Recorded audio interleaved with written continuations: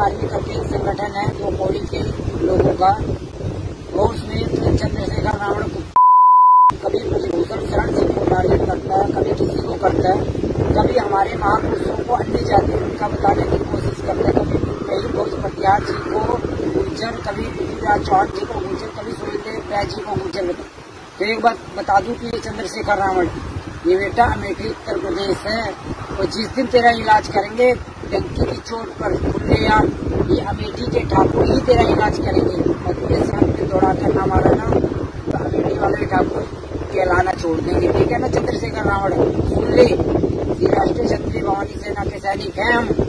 और जिस तुझे मारेंगे, अमेठी में दौड़ा दौड़ा कर मारेंगे। और तू सबसे ज़्यादा जातिवादी फैलाने की कोशिश कर रहे हैं सभी भाई के बीच में। भगवान मचवा रहे हैं। इलाज करेंगे, ये अमेठी के ठाकुर ही तुझे मानेंगे। समझे बेटा? औकात में आ जा।